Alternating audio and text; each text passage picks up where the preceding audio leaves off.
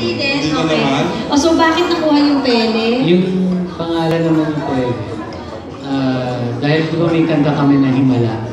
So naghahanap ako ng name na same meaning na Himala.